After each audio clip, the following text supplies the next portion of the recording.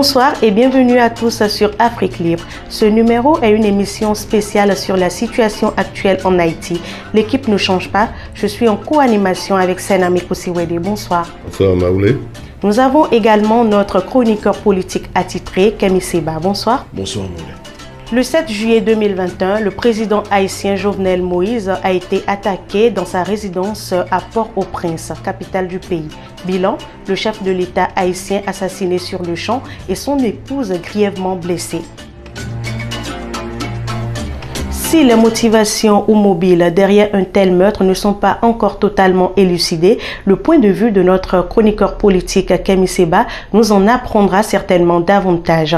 Alors Kemi Seba, qu'est-ce que vous pensez de ce meurtre? Ma très chère Maoulero, bonsoir. Mon cher Senami, bonsoir. Bonsoir Kemi Seba. Et à tous les téléspectateurs et toutes les téléspectatrices, où qu'ils soient, bonsoir.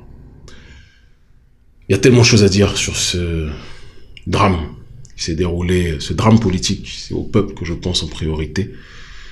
J'adresse mes condoléances à tous les Haïtiens dans leur globalité parce que, qu'on le veuille ou pas, même si je sais que le président Jovenel Moïse était euh, l'un des plus contestés de l'histoire récente du pays, quand on tue un président, on tue un pays. C'est important de le dire. Même si Haïti est immortel et Haïti se relèvera. Il y a tellement de choses à dire parce qu'on ne peut pas comprendre la situation présente d'Haïti si on n'est pas dans une dynamique de chercher à comprendre la genèse d'Haïti. Haïti a été proclamé, est né après une résistance noire extraordinaire. On peut citer des géants, Boukman Duty, félicité. Ces géants de la cérémonie du bois caïman sur lesquels il y aurait tant à dire.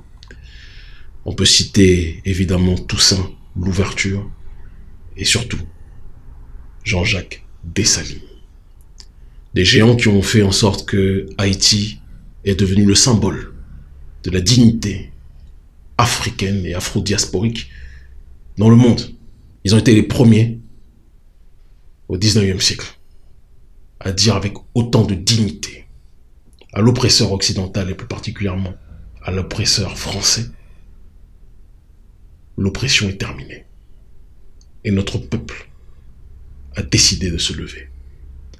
Rien que pour cela, les Africains du monde entier, du plus foncé au plus clair, quelle que soit notre classe sociale, quelle que soit notre orientation politique, quelle que soit notre religion, quel que soit notre sexe, nous avons une dette éternelle vis-à-vis d'Haïti.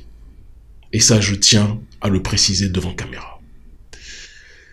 C'est ce crachat aux figures de la prédation économique matérialisé par l'impérialisme occidental et plus particulièrement l'impérialisme français, qui a fait que jamais, depuis son indépendance, depuis la proclamation de cette première république noire, Haïti n'a été tranquille parce que l'Occident a tout fait pour que ce symbole de l'ex-esclave rebelle redevenu libre ne puisse pas contaminer les autres colonies françaises au sein de nos peuples et les autres colonies occidentales de manière générale. Il y a une sorte de consortium occidental pour faire en sorte de maintenir Haïti la tête sous l'eau. Parce qu'en maintenant Haïti la tête sous l'eau, quand d'autres nations songent à l'indépendance, on leur rappelle rapidement, vous voulez ressembler à Haïti Vous êtes prêts à en payer le prix Et il suffit de faire le tour des Caraïbes aujourd'hui. Martinique, malheureusement Guadeloupe, Guyane, peuple que j'aime en perdre l'esprit, toutes ces entités que je viens de citer, quand vous leur donnez l'exemple d'Haïti, personne ne veut être indépendant. C'est ça la réalité.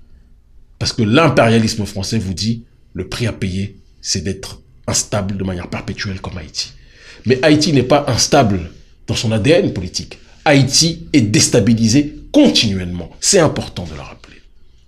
Il est déstabilisé par des forces extérieures qui ont des relais aussi à l'intérieur le relais à l'intérieur en termes de déstabilisation occidentale, ce sont ces familles, ces oligarchies syro-libanaises d'un côté, et aussi une classe, même si je n'aime pas, moi, le... J'ai toujours dit, et je reprends le propos de Malcolm, du plus foncé au plus clair, notre peuple est un et indivisible. C'est important de le dire. Mais il faut dire aussi que pendant la situation esclavagiste jusqu'à aujourd'hui, une caste de ce que l'on appelle de manière impropre les mulâtres, je n'aime pas ce terme, bourgeoise a capté les richesses, les ressources du pays, d'accord, les a capturées pendant que les trois quarts de la population vivent en dessous du seuil de pauvreté. Et donc la conjonction de ces forces, les familles syro-libanaises d'un côté et la caste entre guillemets mulâtre de l'autre, a fait en sorte que ces deux entités sont devenues les oligarchies qui contrôlaient le pays. Et vous ne pouviez pas être président sans être dans la main de ces familles. Jovenel Moïse, parce qu'il faut qu'on en vienne à ce dernier, à la base est un entrepreneur agricole. Quelqu'un qui a pour projet, qui avait pour projet, paix à son âme, d'assainir l'eau. Quelqu'un qui avait pour projet de travailler la terre et de faire en sorte que cette terre, dans un pays pauvre, du moins appauvri comme Haïti, puisse nourrir toute la population. Parce qu'il ne faut pas qu'on se trompe. Si le maître esclavagiste a pris cette terre, a tué les populations autochtones, a déporté notre peuple pour l'emmener là-bas, c'est parce que ces terres étaient porteuses de ressources. Il faut qu'on arrête de nous faire croire que Haïti n'a rien, ceci. Ça, ce sont des inepties. C'est faux. Si Haïti n'avait rien, il n'y aurait pas eu de déportation et l'oppresseur français n'aurait pas imposé l'esclavage là-bas. Et ça, Jovenel Moïse et plein d'autres l'ont compris. Donc Jovenel Moïse, qu'on a fini par surnommer l'homme de la banane, parce que à force de travailler la terre, à force de d'en faire ressortir les trésors qui permettaient de nourrir une partie de la population, Jovenel Moïse avait acquis un certain succès d'estime auprès du bas peuple. C'est à partir de là que Michel Martelly a dit à Jovenel Moïse, tu seras le nouveau candidat du parti présidentiel.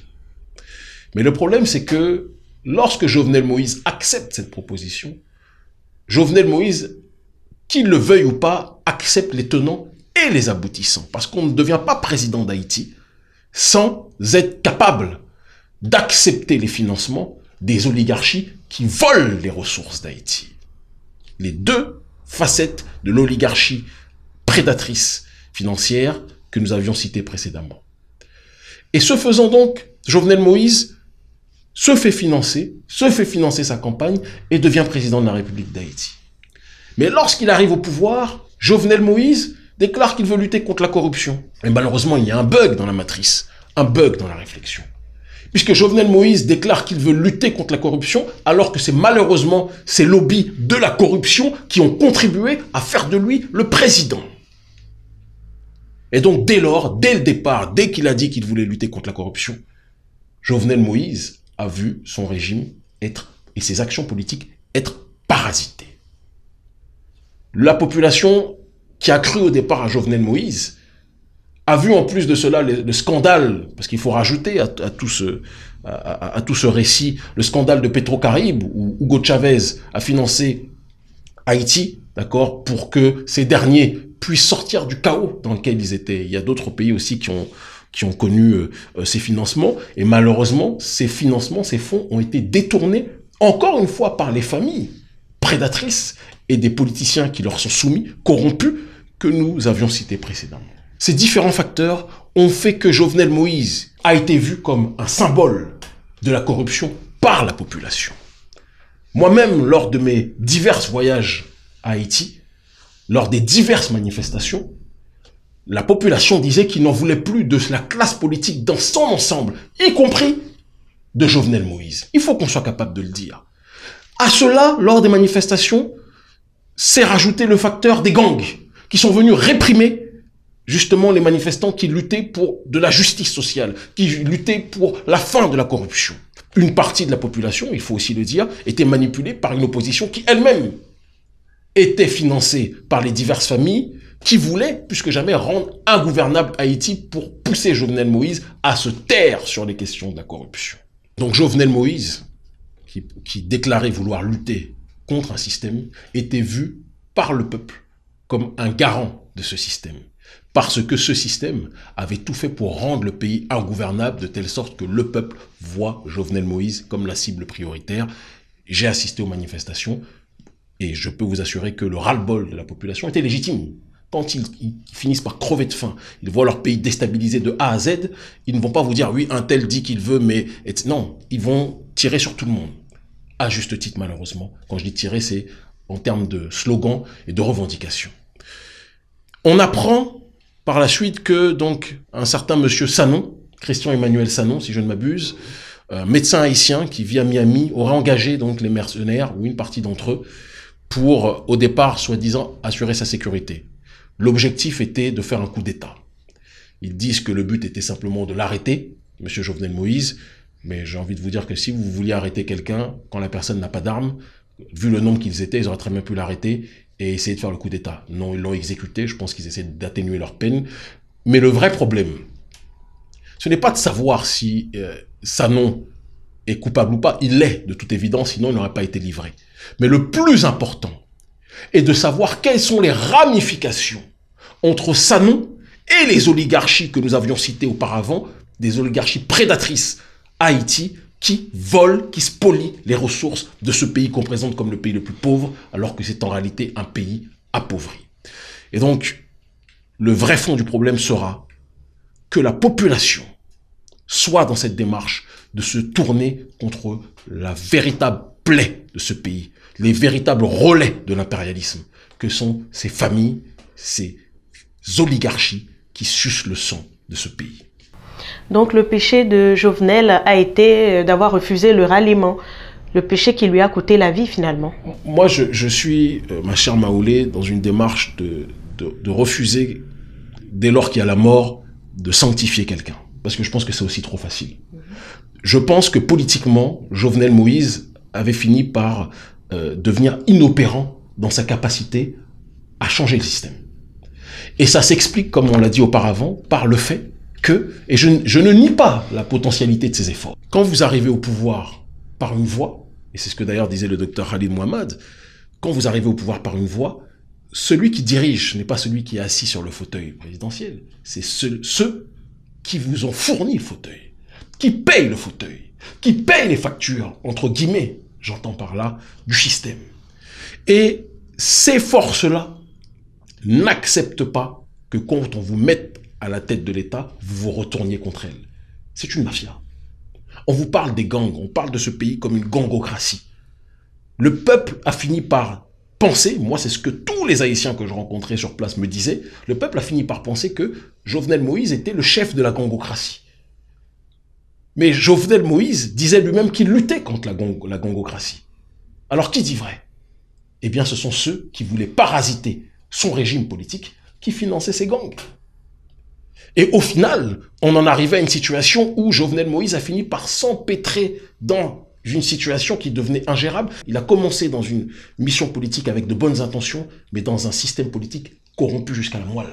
Mais on ne peut ni le présenter comme euh, le Moïse de la lutte anticorruption, ni le présenter comme euh, le chevalier de la corruption.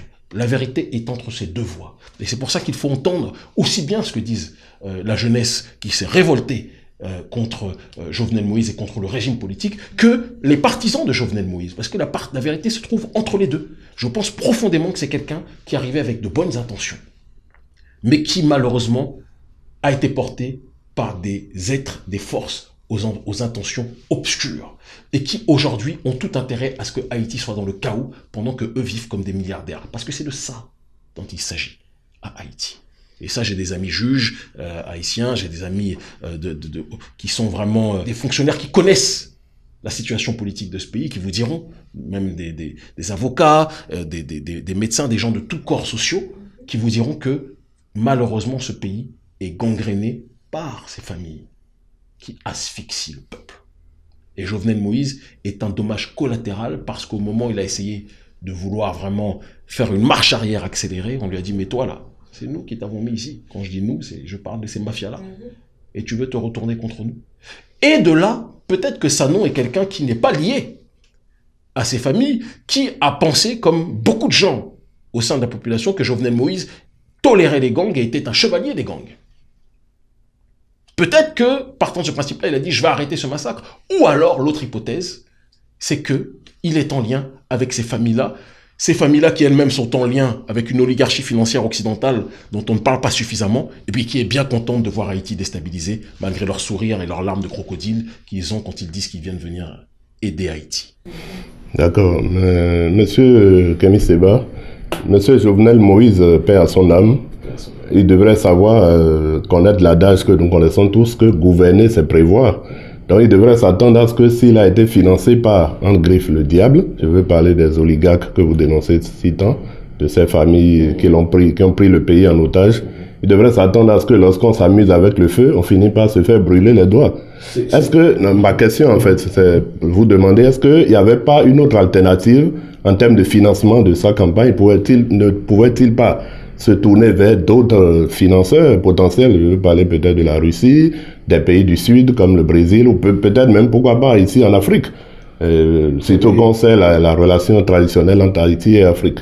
Quelles sont les, les, les, personnes en Afrique qui vont financer euh, Haïti? Euh, Malheureusement, beaucoup d'irresponsables et de manque de vision panafricaniste au sein des élites et au sein de ceux qui ont les moyens, hein, qui préfèrent euh, dépenser leur argent dans des infrastructures inutiles plutôt qu'aider le peuple. Ce sont des réalités que l'on connaît. Euh, pour ce qui est de la Russie ou d'autres pays, qu'on soit, soit clair, c'est le, géopolitologue qui vous le dit, pour bien connaître ces pays, rien ne se fait sans rien.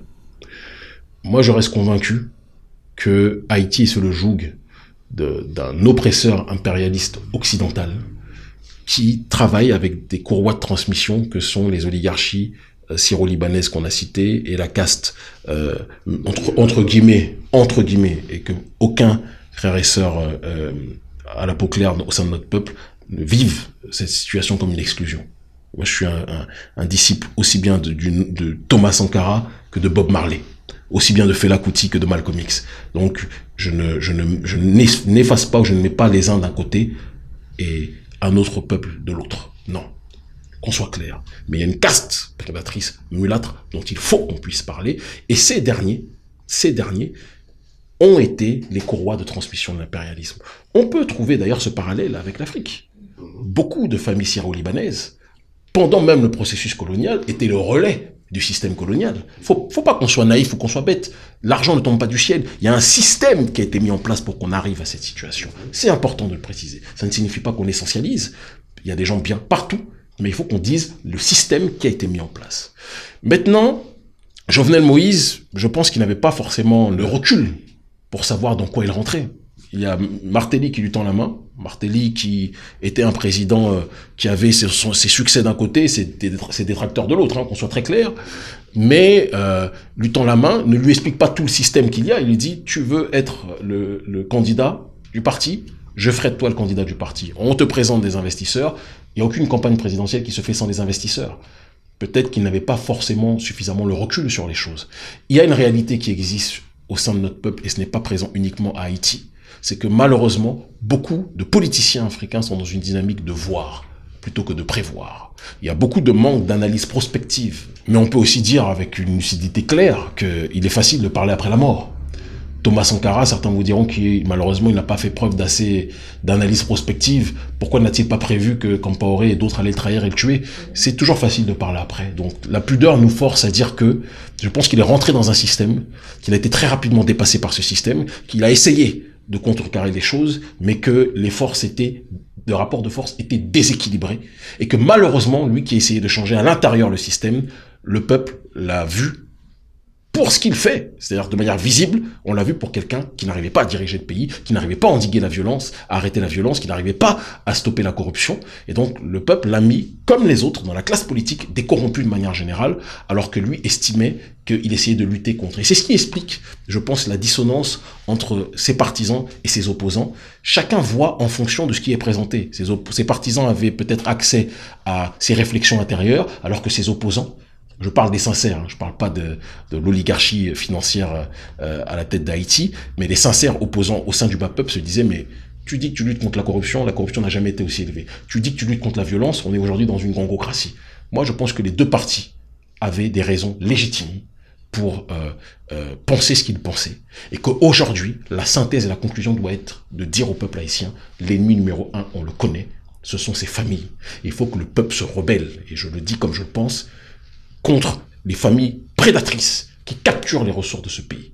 Ce n'est pas un appel à la violence, c'est un appel à l'intelligence. Et ce que je dis là, dans cette dynamique anticapitaliste, doit être fait aussi au sein de nos pays en Afrique, d'accord Contre les familles qui confisquent les ressources du pays. Je le dis, qui confisquent les ressources du pays, qui volent les ressources.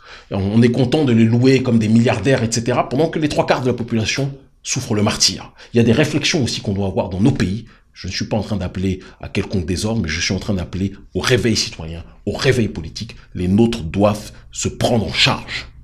C'est de cela dont il s'agit. Parce qu'il y a un proverbe qui dit, on nous dit oui, ce sont les Américains, les Français, ceci. Peut-être. Mais une civilisation n'est détruite par l'extérieur que si elle est rongée de l'intérieur. Donc, regardons l'intérieur de nous-mêmes ce qui ne va pas. Quand vous êtes 10, une personne ou deux personnes volent 99% des richesses, c'est-à-dire que les personnes qui restent vivent en dessous du seuil de pauvreté. Le problème n'est pas extérieur, il est d'abord intérieur. Est-ce que cet appel d'intelligence n'entraînerait pas des violences dans ce pays? Moi, je pense que la violence quotidienne, les Haïtiens la vivent tout le temps. La violence économique, il n'y a rien de plus grave que celle-ci. Quand vous n'avez pas de quoi nourrir vos enfants, quand vous n'avez pas de quoi vous soigner, quand des gens meurent de la grippe, quand des gens meurent de maladies bénignes, parce qu'ils n'ont pas de quoi se soigner. Il y a des réflexions à avoir sur ce terrain-là. La plus grande des violences, c'est la violence que cette oligarchie fait subir au peuple haïtien. Et la plus grande des intelligences, c'est de résister contre ceux qui font en sorte qu'ils vivent dans ces conditions. Oui, ben, je, on a, bon, vous, avez, vous en avez appelé à l'insurrection des peuples, notamment celui haïtien, mais comment cette insurrection devrait-elle s'exprimer selon vous? Elle doit s'exprimer par une organisation euh, beaucoup plus structurée de la société civile. Pour une prise de pouvoir? Et que cette société civile soit capable de constituer un mouvement citoyen réellement autonome, réellement débarrassé justement de cette finance prédatrice qu'elle est, est, censée combattre, d'accord? Parce que c'est ça le problème. Bien souvent, il y a des mouvements citoyens qui apparaissent en Haïti, mais ils sont financés par les mêmes qui corrompent le pays.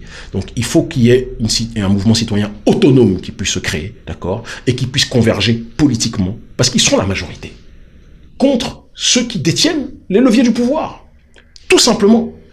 On va dire que c'est simple à faire, parce que en réalité, on, sait que ce n'est pas si simple. Mais la clé de tout, on en revient à la dynamique du panafricanisme, c'est l'unité.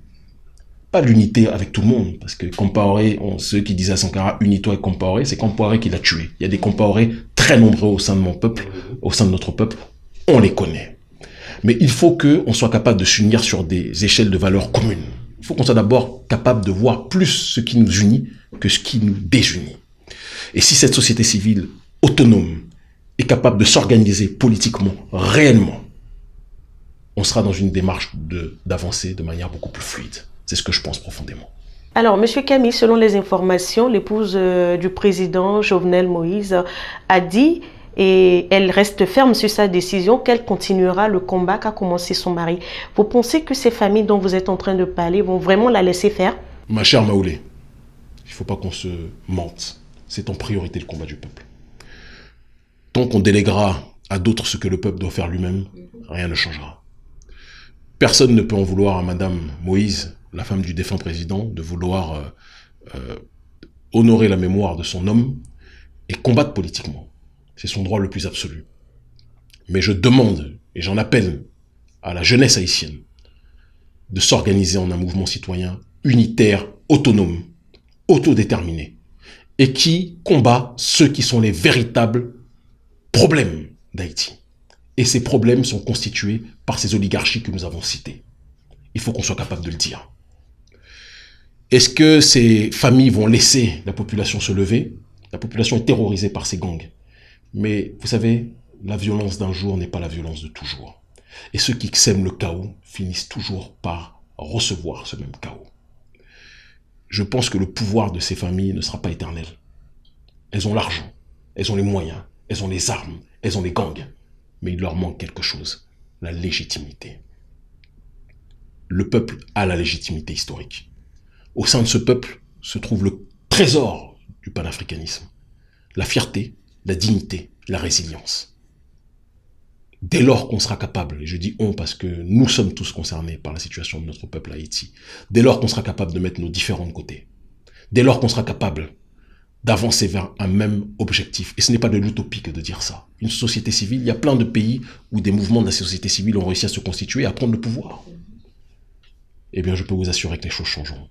On n'a pas d'autre choix. L'erreur, et ça a été le génie de ces familles, ça a été de pousser les populations à se rebeller comme contre Jovenel Moïse. Et je vous le dis, je le répète, parce que moi-même qui vous parle, j'ai fait partie des manifestations, je pensais et jusqu'à aujourd'hui, je pense que Jovenel Moïse aurait dû démissionner. dès lors qu'il est dans un régime qui est ingérable, dès lors qu'il n'arrive pas à gouverner, l'intelligence politique, c'est de reculer pour mieux sauter.